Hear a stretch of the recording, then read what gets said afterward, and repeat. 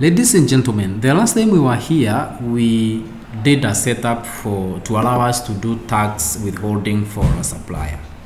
So I promise that in the next video, what we are going to be doing ideally is to uh, try and create our sales, not try rather, but create a purchase invoice, and then we see what is going to happen. So from Awesome Search again, I'm going to do purchase invoice and then there we don't have any purchase invoice here yet so i'm just going to go ahead and create one. And here uh, i'm going to select my awesome supplier here. This again is the supply we created during our last video. And note that when we select this supplier here you're going to see some activity here. So this one is going to be checked and then we're also going to have uh, an input here for the tax cat withholding category uh, that is apply applicable for this supplier. So let me go ahead and do that, select, and if you set up this well, this is going to happen. If that didn't happen, then there is a problem with your setup. You need to go back to my first video and watch it again. And then here we need, of course, to specify what are we buying from the supplier. So that is why we created this one item. So I'm going to select that one item, give a price, because this is our first item. This, I, I mean, our first sale, this item doesn't have a price here. So I can just set it up let me just say one of them.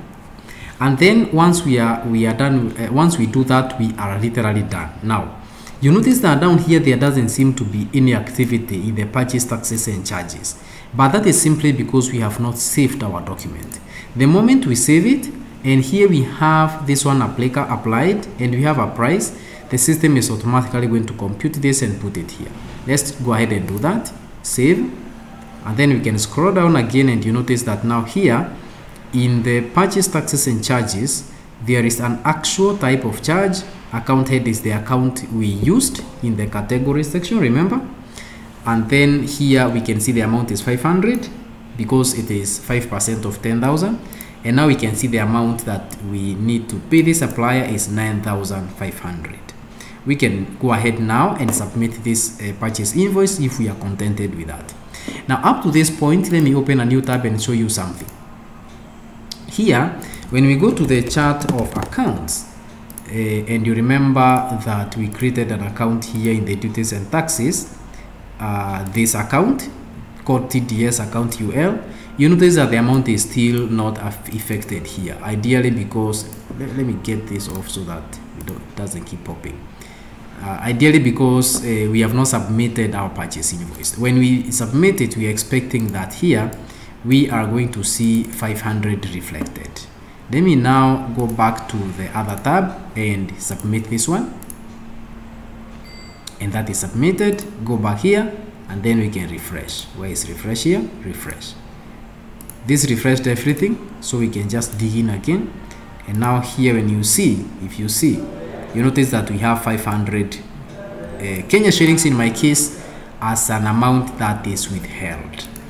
Now this invoice is now here in pending and the grand total is 9500 although the amount is 10,000 here. So that is how simple it is to track that amount within the ERP rather within ERPNext to be very very specific. Now um so the other thing that I would like maybe to show you here let me see my slide uh, so here we have created a purchase invoice track expectation so yes expectation is basically uh, the, my, my, expectation would have been that I'm supposed to pay 9,500 and I can see that.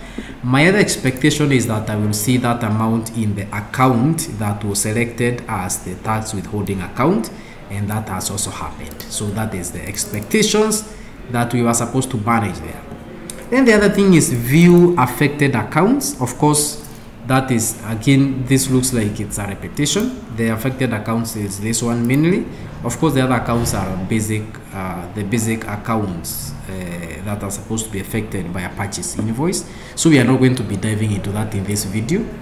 And the other one is view expected report. So how can we view the report? Number one is that I can go to the TDS and view accounting ledger here so you see this is how the ledger looks. I can see here that there is a 500 and you notice that the balance is negative because you are owing. Those so this is ideally a liability. That is why it is a negative amount here.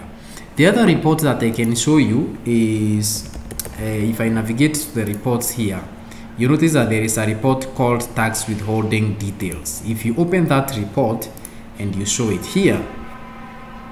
Uh, let me refresh this report. In the supplier section you so basically there are two of them the supplier and customer. We are going to see customer in the in later videos. But in the supplier section you can even filter by date range here if you want.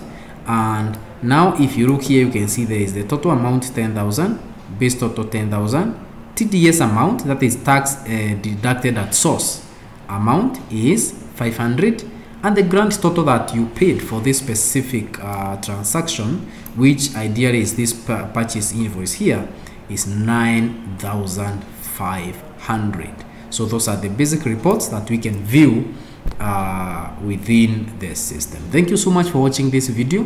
When we come back we are going to be seeing how now you can pay this tax because yes you have withheld it.